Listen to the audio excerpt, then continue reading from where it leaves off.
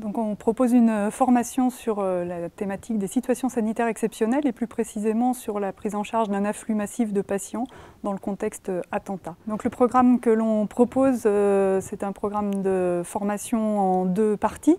Euh, une première partie qui consistera en un e-learning dont l'objectif est de s'approprier les principes d'organisation préhospitalière et intra-hospitalière face à un afflux massif de patients dans un contexte attentat et de comprendre ce qu'on appelle le concept de damage control.